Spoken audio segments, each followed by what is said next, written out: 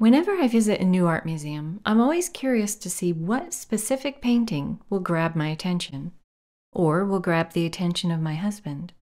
Often, it's the same piece that strikes us both. And this is what happened at a recent visit to the Ackland Art Museum in Chapel Hill, North Carolina.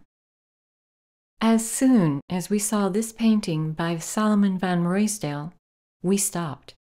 We spent the next five to ten minutes just admiring it, looking at the brushwork, standing back, getting close. I don't know what it was about it. Maybe it was the composition, or maybe the serenity of the color palette, or maybe the placement and the contrast of his values, or maybe it was all of that. Salomon van Ruysdael was one of the leading landscape painters of the early Dutch Golden Age and helped establish the characteristic tonal look of landscapes from that period. He painted at a time when the Netherlands had just won independence from Spain and began to come into their own as a nation. This meant expanding their economic independence through merchandising, and painting became an important part of that. This painting follows certain compositional trends that were popular at that time. The effect was powerful.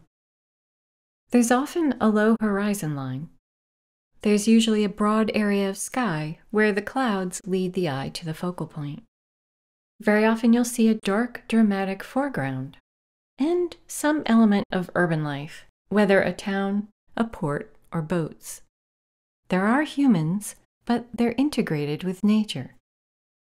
I love these scenes, and I think he in particular communicates something special in his work.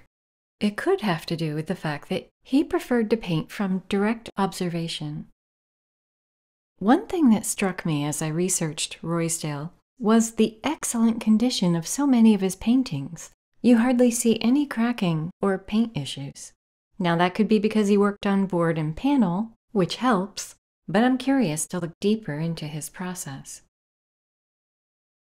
Salomon and his colleagues would have a major impact on the next generation of Dutch artists, to include Jacob van Ruysdael, considered one of the most important painters in the Dutch Golden Age, and Salomon's nephew,